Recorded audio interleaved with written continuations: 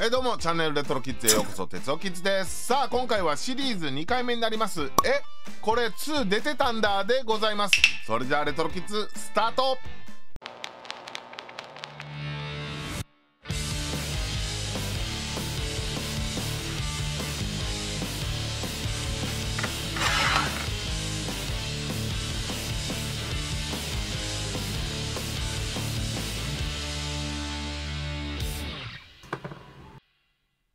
レトロキッズ。さあ今回遊ぶのはこちら。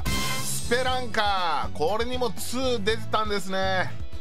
さあまずスペランカーの1なんですけれどもこれ子供の頃結構やりましたね。いや何なんですかねこのスペランカーの魅力。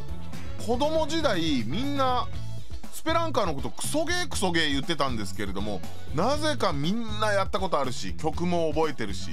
で未だにファンも多い。まあこのスペランカー1をクソゲーとするならばもしかしたら世界一人気のあるクソゲーなんじゃないでしょうかね。いややっぱり難しすぎただけでクソゲーではないのかな？うん。でもそんなスペランカーに2があったのは全然知らなかったですね。まあカセットを見る限りは1と2よく似てるんですよね。でも果たしてゲームの内容そのものも似てるのかどうか。ちょっと楽しみですね。それではまずはスペランカー1の方からプレイしてみようと思います。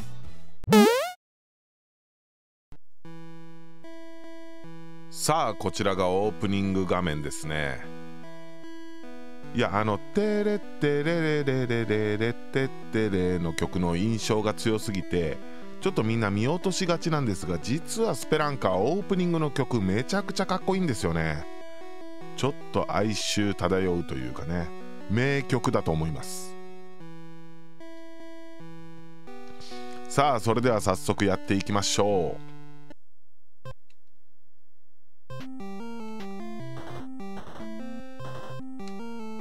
いきなり。これがスペランカーですよ。ちょっとの段差でね。危ない。危ない。さあ爆弾ゲット。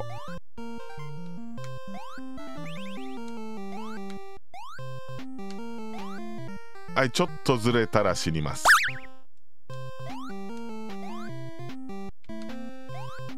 慎重に降りないといけないですね。あー危ない。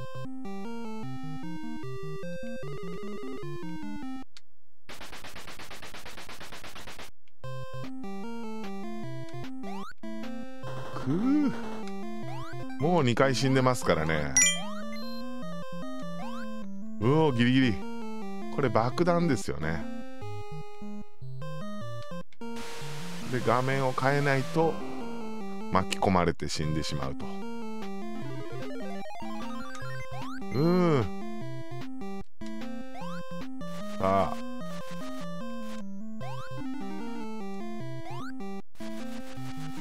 うわー来た。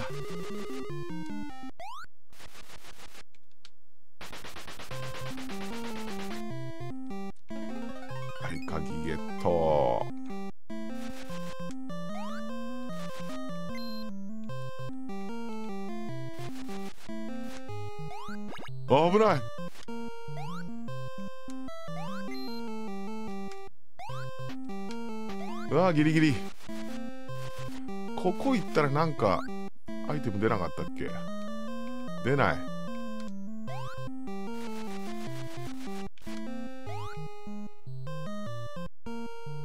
なんかガス出てんだよな。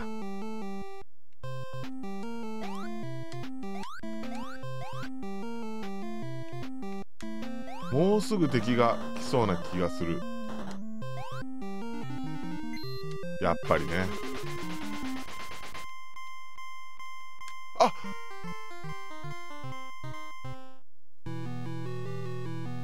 もうやられた。早っ。むずっ。ダメだ。さすがに。ちょっともう一回だ。ちょっとうっかりミスが多すぎたね。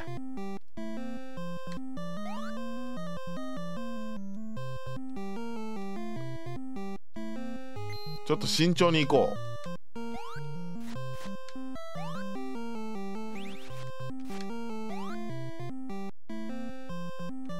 うんここまでのミスそろそろ敵？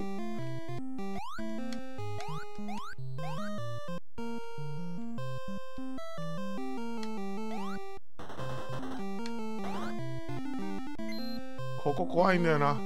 ちょっとこの前に。来た来た来た。危ない危ない危ない。え？ああ秒数か？タイム？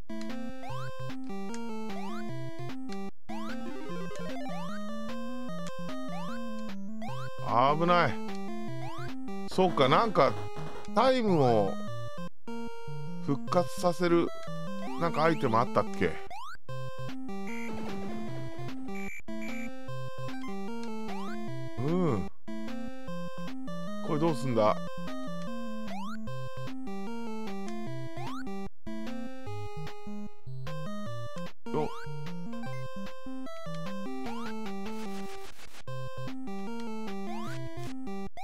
すぎる。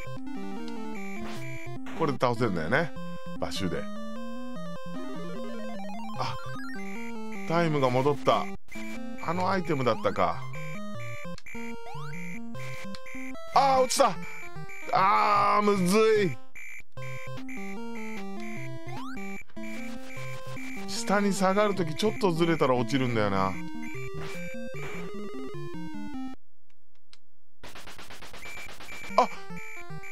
ずるいよそれは。あこっから？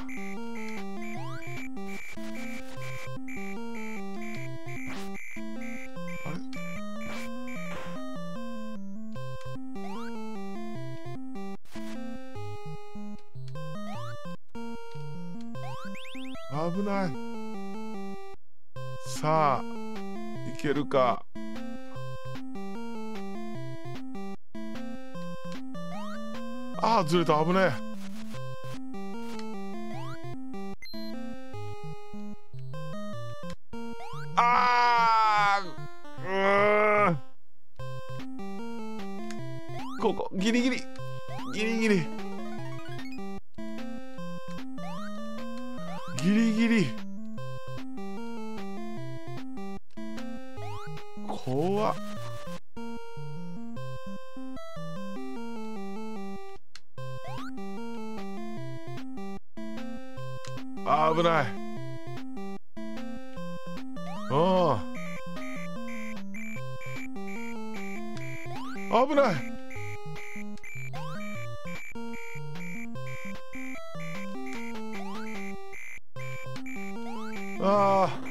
まだあるか。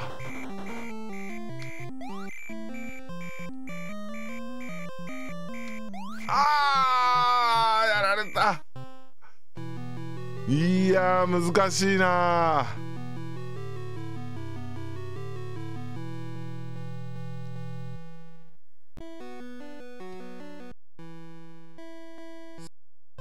さあ行きましょう。目標一面クリア。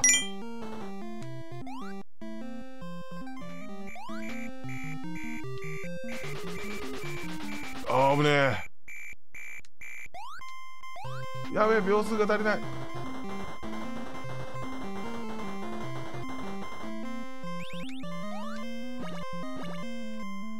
あーギリギリ。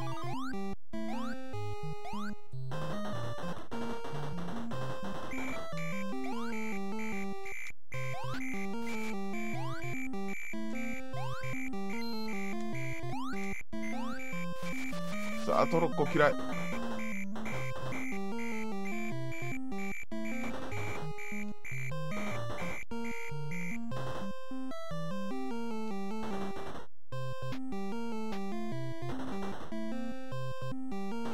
あーどっから？うー最悪。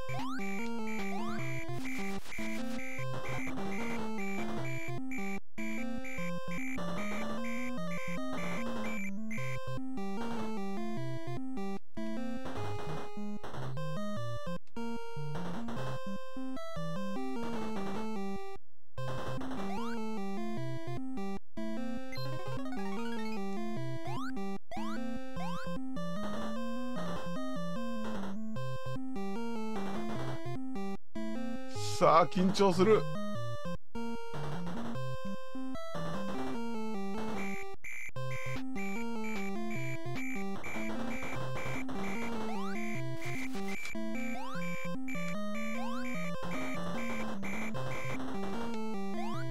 さあここどうすんだ？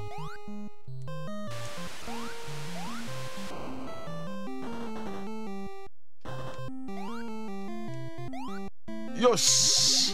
よしよし。えまだある。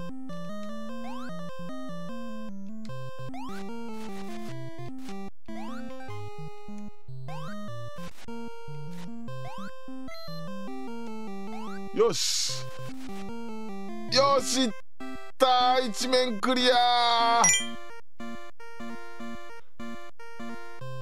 もう始まった。余韻短っ。もうちょいあんだけ苦労したんだからもうちょい余韻をちょうだいよ。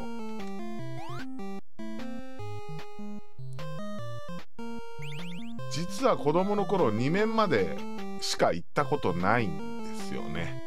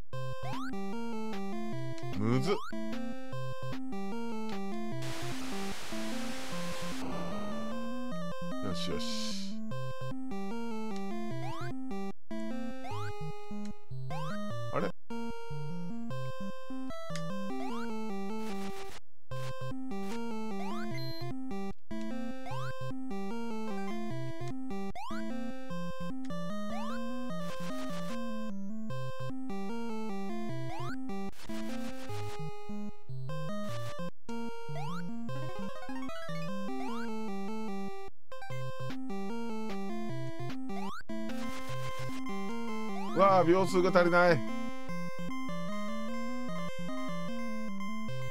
わあ2面。あージャンプしすぎた。えこっから。あイージーミスあれだけで死ぬのか。あまだあった。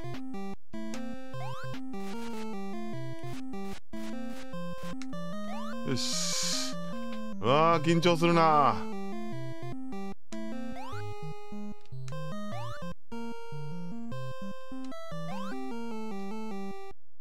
一個一個のジャンプで緊張するからな。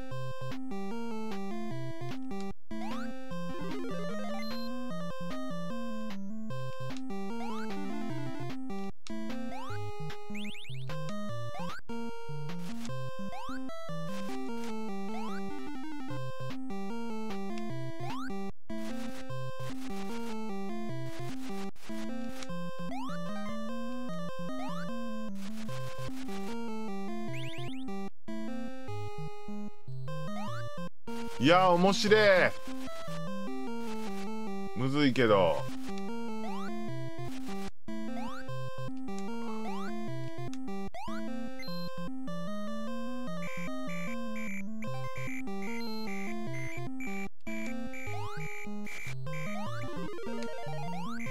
めちゃめちゃむずいけど面白いな。これすぐ登んなきゃいけないよね。危ねえ。あしょうもないミスで死んでしまった。いや2面はクリアできないか今でも。いややっぱむずいわ。世界最弱主人公なんじゃないかな。うんやっぱりこんだけ難しいと子供の頃はクソゲーって言いたくなるんだろうな。でもなんか大人になってからプレイした方が面白い気がする。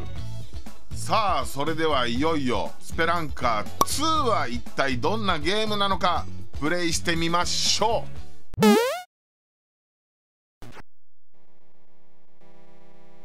さあこちらがスペランカー2です。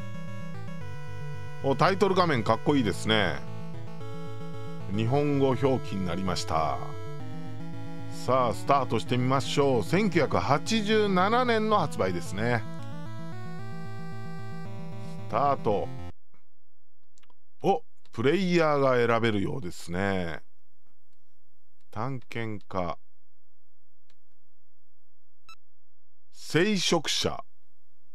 エスパー。この3つから。でもまあスペランカーといえば探検家でしょう。で持ち物が缶詰と爆弾が選べるのかな？あ全部で6個まで持てるというところですね。じゃあ缶詰4の爆弾2にしときますか。で武器はナイフとピストル。選べるのかな？選べるわけではないみたいですね。さあ一面。お。ジャンプ軽やか。あナイフでの攻撃。えなんだこれ。なんだ？イノシシ？なんだ倒すのかこれで。っていうかそう簡単に死なないぞ。お倒せる。下の徳っていうのはなんだ？あえ？徳？なんだろう。ん？何？これは。これ敵じゃないみたい。いいのかな？お。道を手前に歩くこともできる。蛇。これは攻撃してくるよね。倒せる倒せる。うわ何これ？めっちゃ吹っ飛ぶじゃん。岩にちょっと触れただけでこれ？あ体力減ってる。やばいやばいやばい。岩触れちゃダメなんだ。これ何？めっちゃ虫出てきた。わわわわわ。怖怖。あ穴開いてる。これは越えなきゃだよね。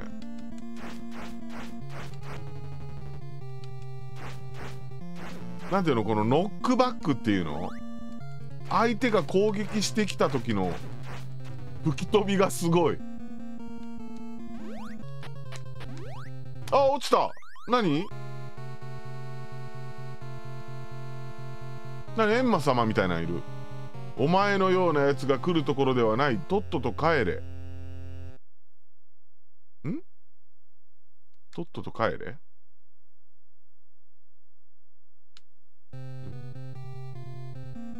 あなんか戻された。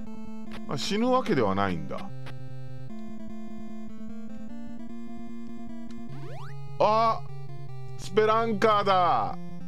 岩からなんか吹き出てる。うわなんかこううわめっちゃ怖いやついる。あ。何これ。普通の動物じゃねえ。あ化け物うわ。めっああ吹っ飛ぶ吹っ飛ぶ。吹っ飛びがうざい。わまだいる。あ。あっさり？あっさりやられた。何これ。なんだろう。カセットだけで買ったからちょっと説明書ないと意味が分かんない。やばいやばいやばい。死んじゃう死んじゃう死んじゃう。危ない。何これ。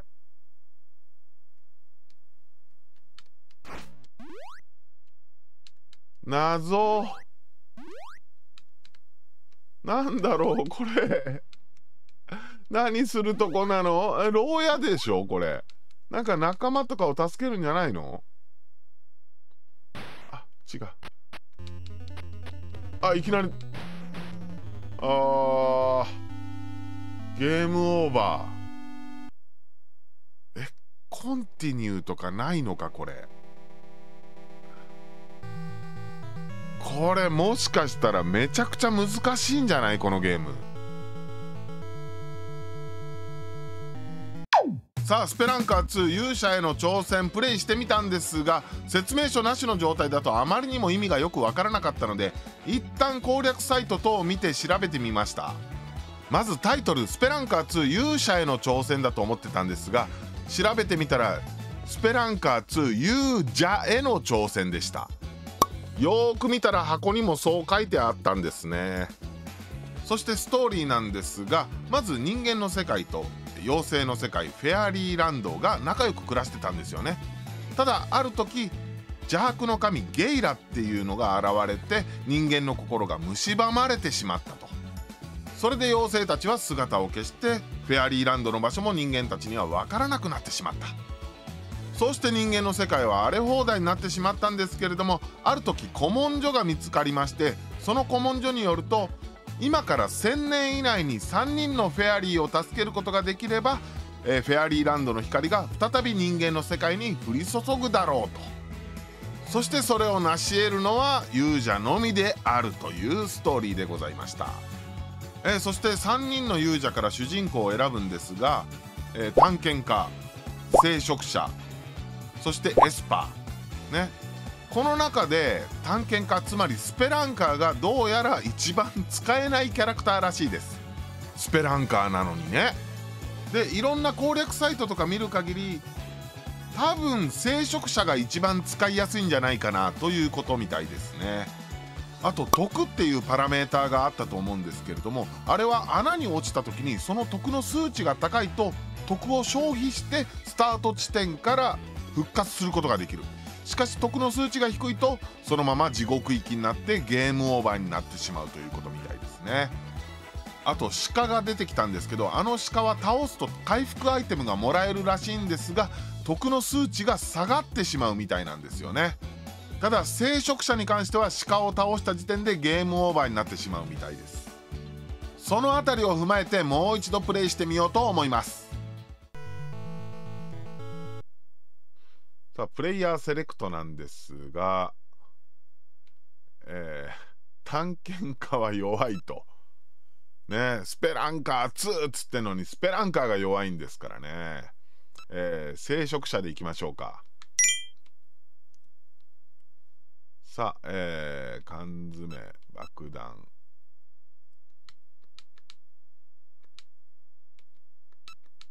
あえー、リュックの中身マックスが3つになってますね。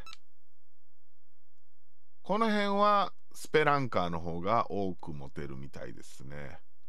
ステッキ、えー、魔術オーラ。この3つが武器みたいなんですがこのオーラっていうのは、えー、ボス戦で役に立つらしいです。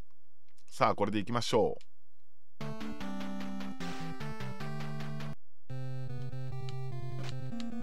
これがステッキですかね。ああ。あ強いですね。あと体力少ないですね。これは鹿は攻撃してはいけないんですよね。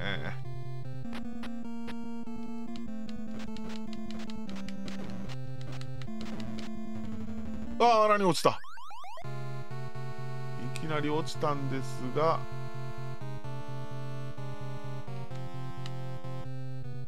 はい徳を消費してもう一度復活と。徳の数値が高いと大丈夫なんですね。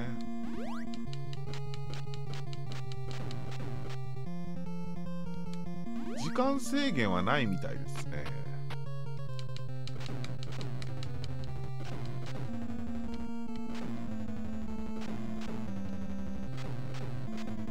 ちゃ強いじゃんこいつら。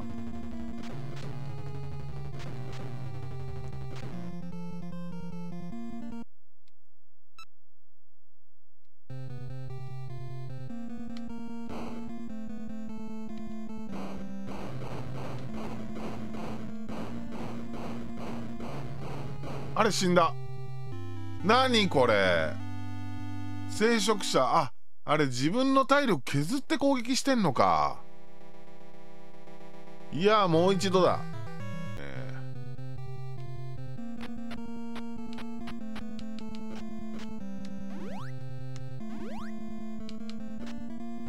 うわ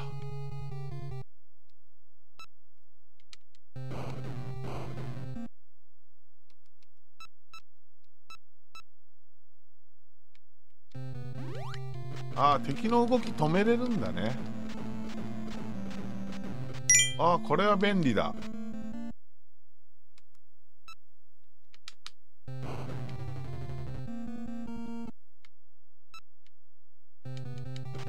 便利便利。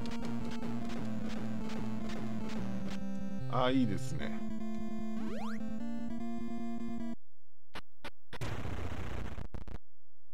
わこれは止めれないのかな。うーわ。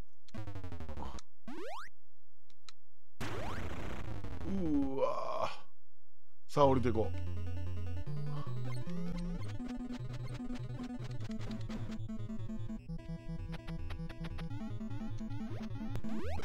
聖職者はロザリオじゃなくてもこいつらを倒せるらしいんですよね。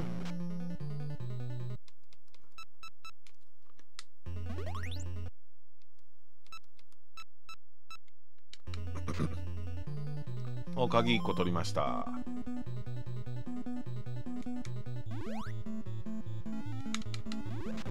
これは便利。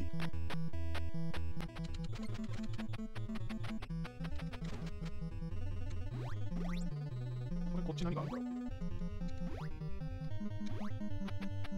う？おおキノコがいっぱいありますね。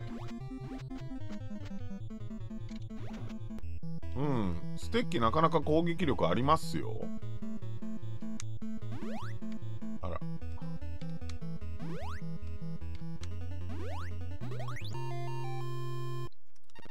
食料と衣装を手に入れた。えー、狼から鹿を助け出せね。はいはいはい。それは前に聞きましたね。今体力満タンなんでキノコ取らなくていいでしょう。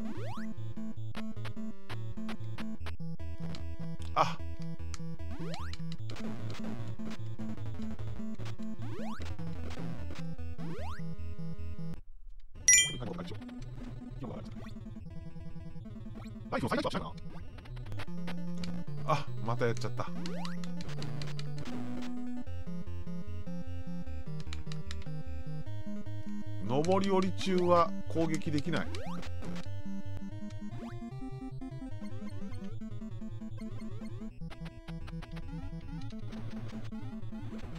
うん。あ攻撃しやすいな。やばいやばいやばいゾンビちょっと硬いな。2回攻撃しないと倒せない。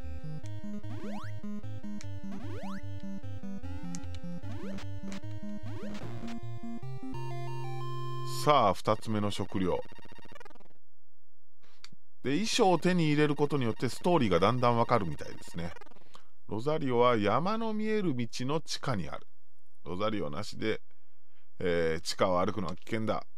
まあただ聖職者に関してはロザリオなしでも敵が倒せますからね。その辺便利。あここはもう一回来たところなんじゃないかな。鍵も取ったし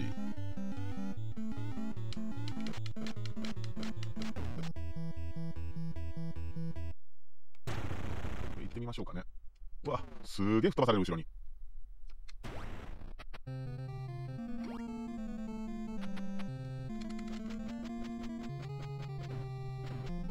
意外とダメージ小さいですねエビは。はいはい。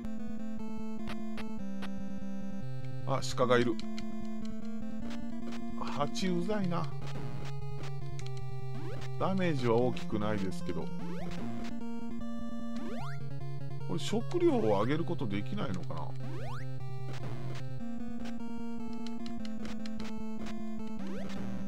鹿に食料をあげるとみたいな言ってたんですけどね。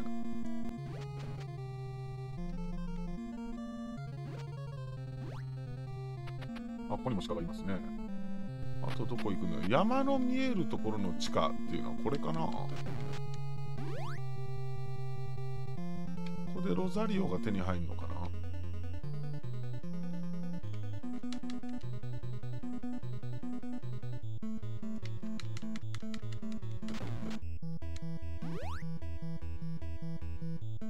はい食料を手に入れました。ロザリオは徳が多くないと役に立たない。うん。まあ聖職者はね徳がそもそも高いですからこれなんだサソリか？ちっちゃいサソリ。大して強くはないですね。はい食料と衣装火山の地下にある鍵で扉を開けたところには秘密の地下水路がある。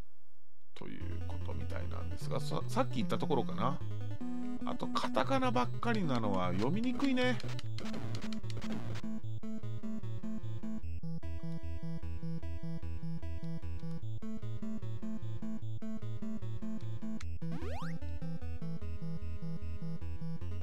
よこのスペランカーっぽいところ。ね。うわあ食らった。岩からなんか吹き出ている。そういうのスペランカーっぽいね。これなんだ？なんか取ったぞ。ロザリオ。はいはい。ロザリオで攻撃することができるのか。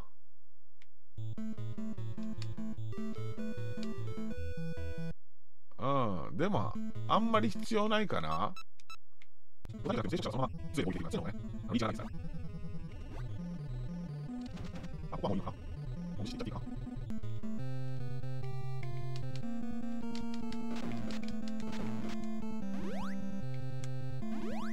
さあ、あと行ってないのはどこだ？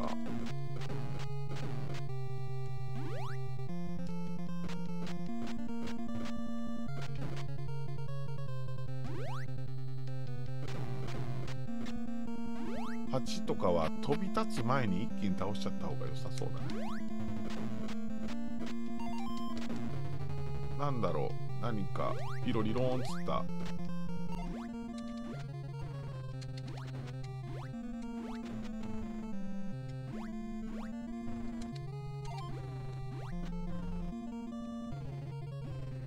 うわうざい。ずっと湧いてくる。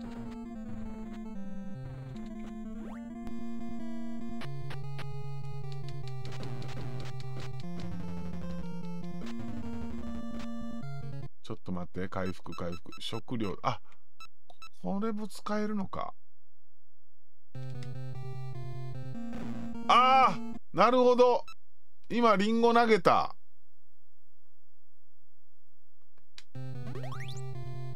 あれが多分食料だ。鹿にあげるんだ。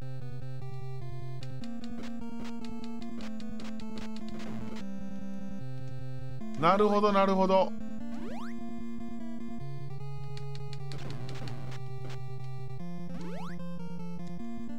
あ早く鹿いるとこに行きたい。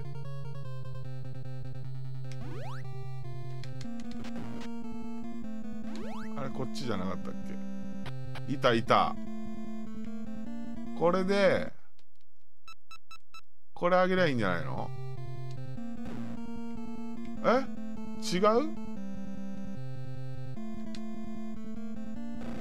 全然違った。じゃあ何よ？何すりゃよかったのよ？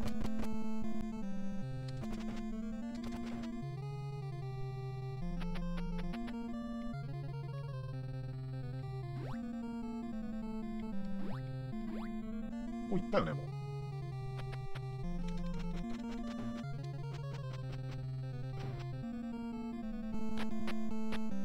う。ああなんか建物みたいなとこ来た。なんだこれ。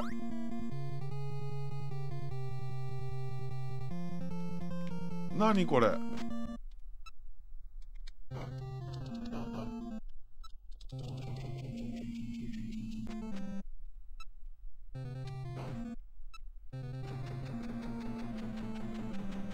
ボスキャラ的なことなのかな今のは。あこいつか。こいつに食料をあげるのか。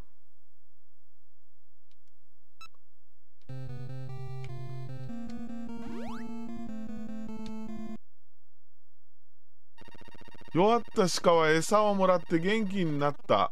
なんとお礼に金の鍵をくれたよっしゃ。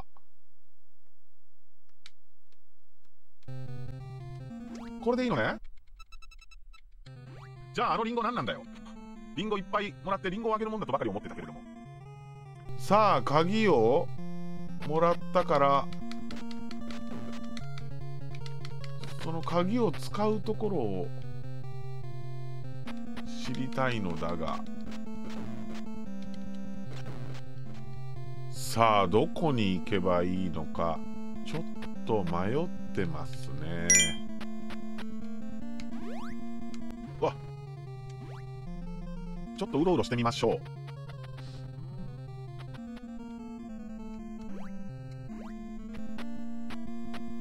おここは来たことないぞ。れ鍵かな？どっちだ？青っぽいから青を使ってみよう。ああ多分正解。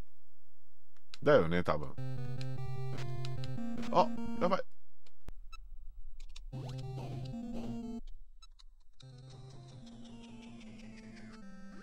おなんだ？水は入っていいんだよね。おおなんだ？マリオっぽい。マリオっぽいよ。おお。怖なんか取った。食料だ、えー、食料と衣装を手に入れた。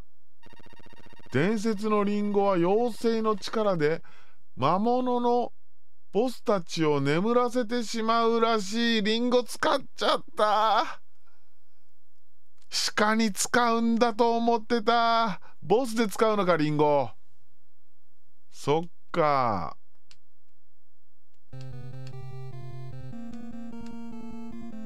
あ武器使えない。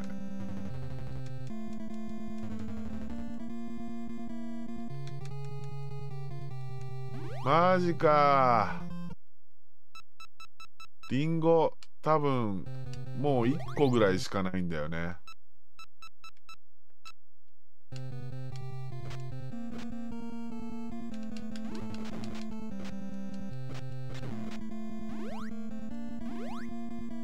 まだだいぶあんのかな。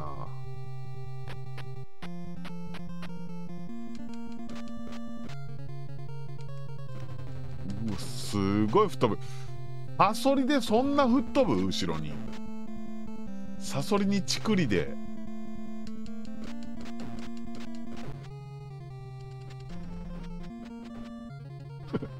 飛びすぎだって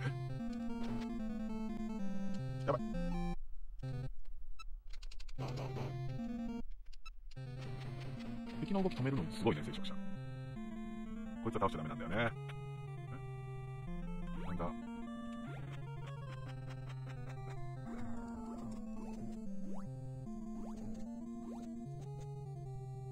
あーうざい。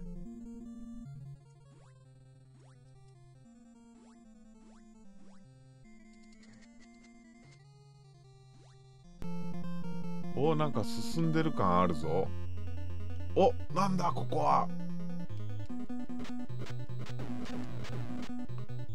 今までと雰囲気が違うぞ。ダンジョン。あ敵が見づらい。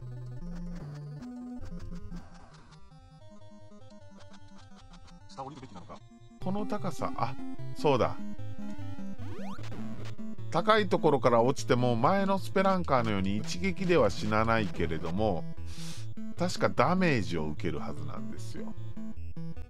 だからあそこは飛び降りちゃダメなんだよね。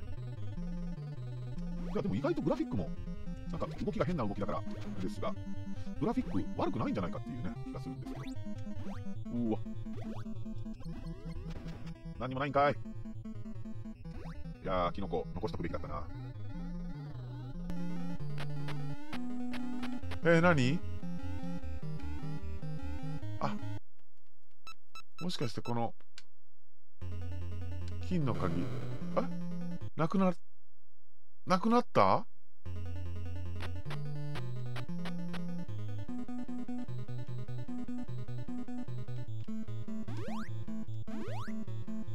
使っちゃダメだったもしかして。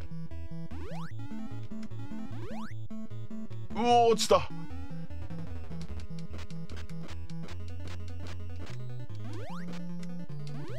当たってるじゃん。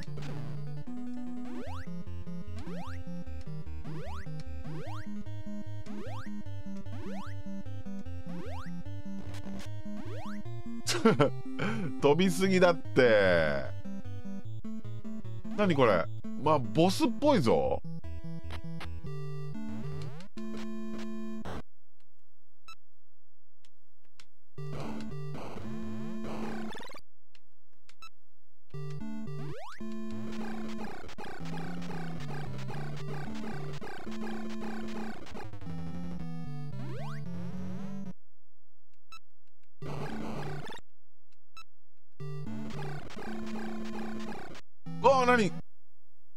何これ？分裂した？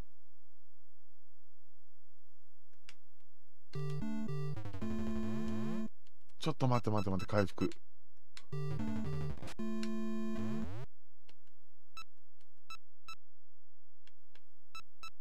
ボスに聞くっつってたな。あ聞いた。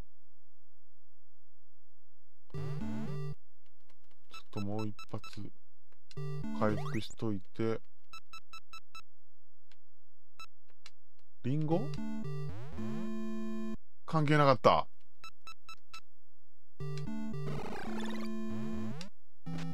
あ得が減るんだ。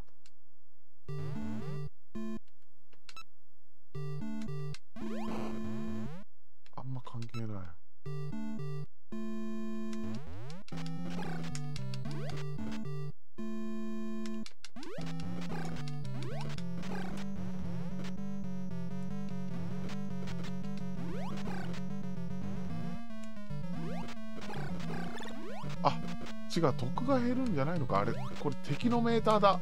いつの間にか得のところが。得と敵ちょっと近い。あ倒した。ボス倒したんだよねこれ。これボスだよね絶対。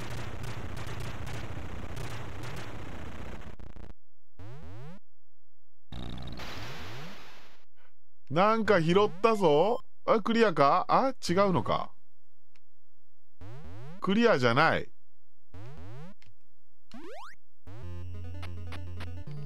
分かった。全3面だからで3匹の妖精でしょ？だから妖精を助け出さないといけない。どっかいるんだな妖精。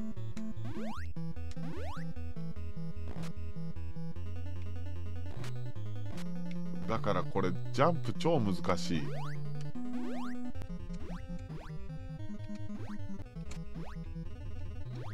ジャンプ力あるから向こう側まで飛んじゃう。すげえジャンプ難しいじゃん。これこれこっちっぽいな。あなんかあった。爆弾。いやそんなにいらないわ。やばいやばい体力ないわ。これ何？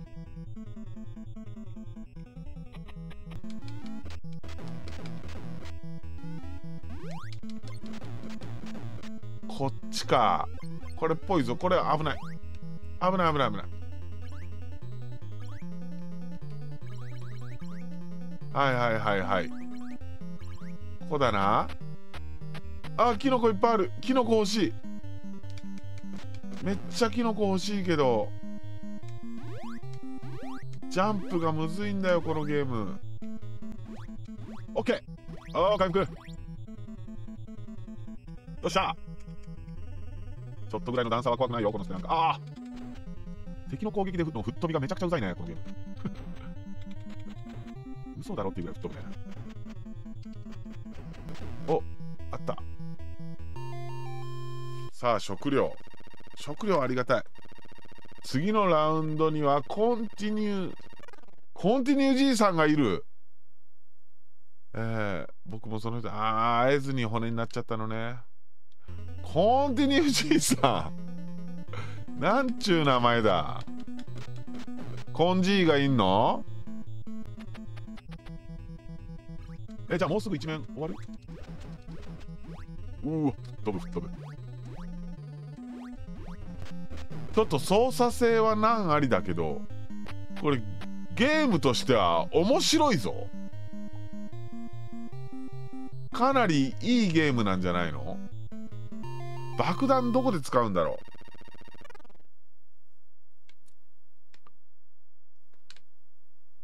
う？爆弾めっちゃ手に入れるけど。いや面白い面白い。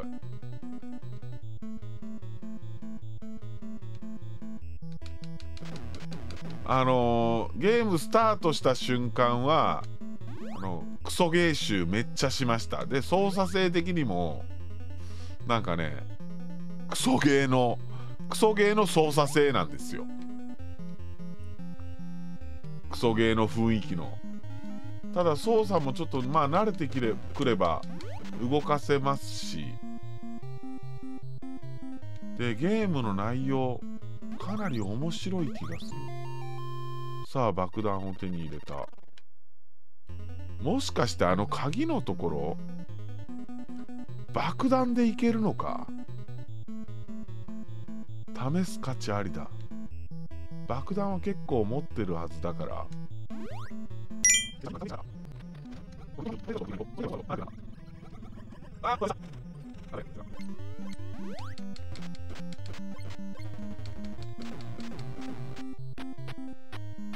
ここ爆弾でいけんじゃないの？ポーズをしてた。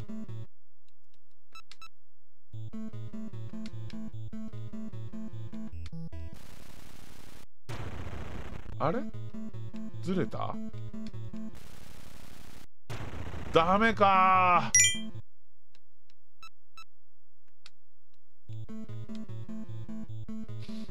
いけないのか。爆弾無駄にしちゃったな。えー、じゃあどこに行けばいい？ちょっと。うん一旦戻って。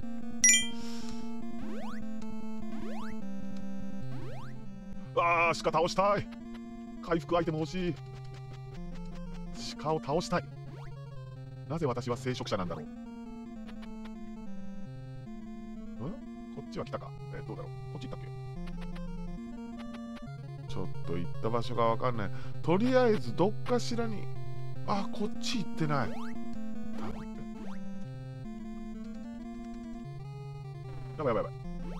かにフェアリーがいるはず。こっち行ってないぞ。ここか。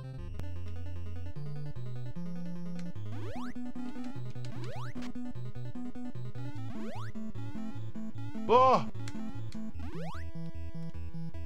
やばいやばい。体力ないよ。あ上ちょっとトゲトゲっぽい。ダメージ受けんじゃないのあれやばいやばいやばいやばい。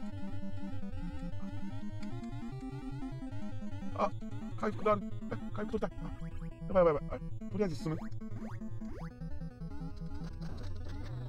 やばい回復したい。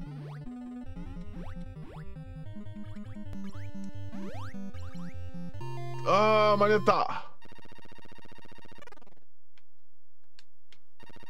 もしお前が遺跡の地下2階まで行くならゲイラの隠れ家の謎がわかるだろう。やばいやばい回復回復。まあまあ。サソリがいたね。いや効かない。やばい。サソリムシ。これだな。こここれでここだろ。うああこれでいいのか。おおフェアリーがトライやっぱりフェアリーだよね。一瞬蜂っぽかった。怖かった。えー、何？何こいつら。え偽物？えあなんだ上押したら入ってた。ん？合ってたよね。ああよかったよかった。フェアリー8っぽい。これで一面クリアか。だよね多分。おー一面クリアした。いや一つの面なかなか長いな。え？二面にはコンティニューじいさんがいるっつってたな。食料と衣装を手に入れた。地下の奥深く勇者たち眠る。何があっても墓を踏んではならない。なるほど。墓踏んじゃダメなのね。これ怖。っ超難しい。超難しい。いきなり落ちた。来るところならとっとと帰るまあ戻されるスタートにね。ただあそこうまくジャンプするそんなそんなことできるの？おおあー超難しい。超難しいここのジャンプ。え？お前の行いお見通しだ。お前のやつ。はえ？やられたマジか。得足りなかった。いやあれひどいよ。あのジャンプめっちゃ難しいもん。2面にコンティニューじいさんいるはずなのにめっちゃ難しい。マジか。といったわけで今回はスペランカー2をプレイしてみました。いやマジでね1面しかクリアしてないんですけどめちゃくちゃ面白い。けど1と違いすぎない？いや1に比べてスペランカー2がそんなに有名になんなかったのはもうそこが原因だと思います。これはこれですごく面白いゲームなんだけどスペランカー2じゃないじゃんって。かえってスペランカーの名前つけなかった方がヒットしたんじゃないかな。あと操作性の個性が強すぎる。この操作感は慣れるまで結構イライラするんじゃないかな。まあスペランカー1とは別物ではございましたがスペランカー2も面白いゲームだということが分かりました。いや本当面白いんでね。もし機会があったら是非プレイしてみてください。といったところで今回の動画は以上でございます。楽しかったよって人は是非高評価とチャンネル登録の方よろしくお願いします。それじゃあみんな宿題やれよ。やはりスペランカー弱い。めっちゃ吹っ飛ぶ。やめて何の操作もできない。